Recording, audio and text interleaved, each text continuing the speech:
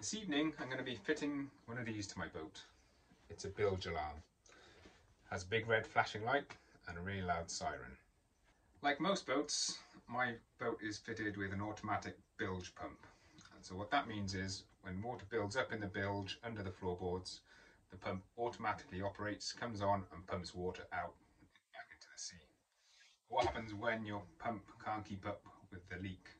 When water's coming into the boat faster than this pump is pumping it out. Well, what happens is quite simple, you sink. So every second counts. I watch quite a lot of um, rescue programs on TV.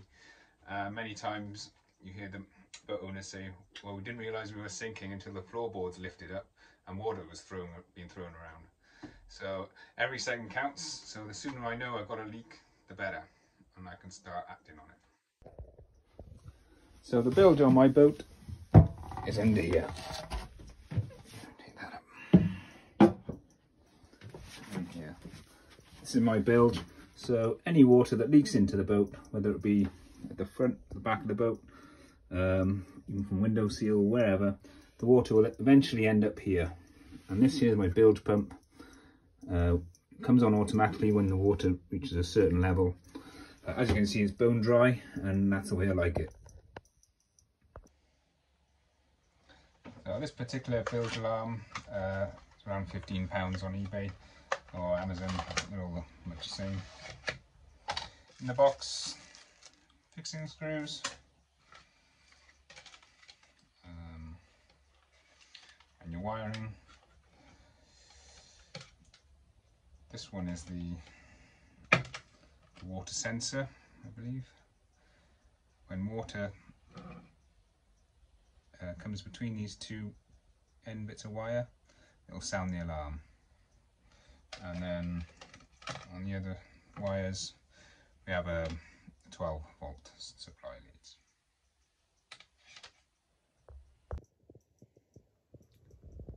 So next thing to decide is where to uh, install your alarm. It's pointless having an alarm if you can't see it. And uh, when the engine's going, um, you're on passage and you're up in the cockpit, you might not hear the alarm sounding. So uh, the light for me is, is one of the main things. So I'm just going to place mine down here, just under the socket here. Um, therefore, when I'm up there, that's my cockpit up there, I'll be able to see this light flashing should it go off. Um, regardless of the sound, if I don't hear it, it's not a problem, I can see the flashing light. So, just going to drill a hole down through, uh, just to put the wires through. Um,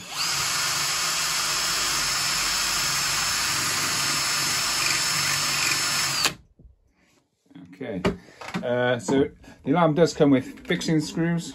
Um, I'm not a fan of uh, drilling a, loads of holes in the boat, so I've just bought some uh, sticky back Velcro. I've used that a lot on the boat for mirrors and what have you, and it, it holds really well, so that's what I'm going to use.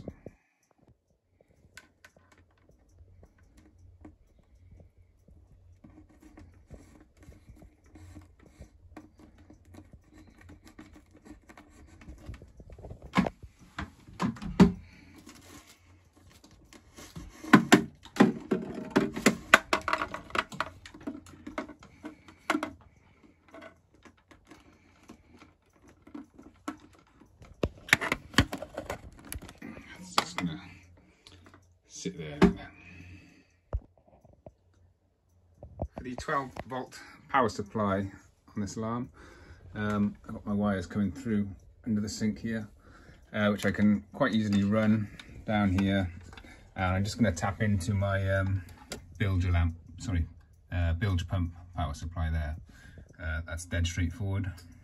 Um, with regards to the sensor, uh, the other wire, um, I have to figure that out. I might have to put an extension on that one.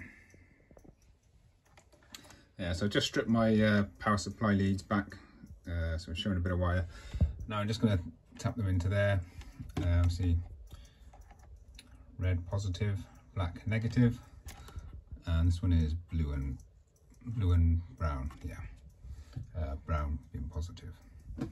Uh, before I do that, I'm just going to knock off the power supply there because uh, I don't want to pull these leads out and then if they touch they're going to short so I'm just going to knock the power off to that before we take them out. There, so with the uh, power supply knocked off now, I can just slacken these off. And I can uh, slide the new wires in. There, so that's the power supply sorted out. Uh, bit fiddly, just managed to slide the wires in and uh, tighten them back up and uh, all good.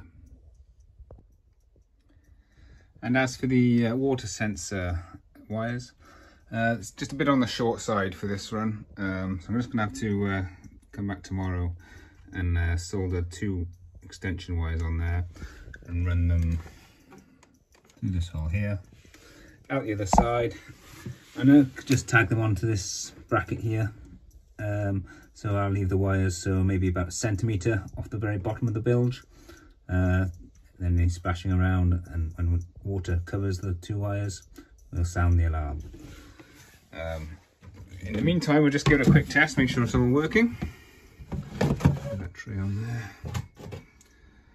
Little cup of water. And uh, two bare wires there. Here we go.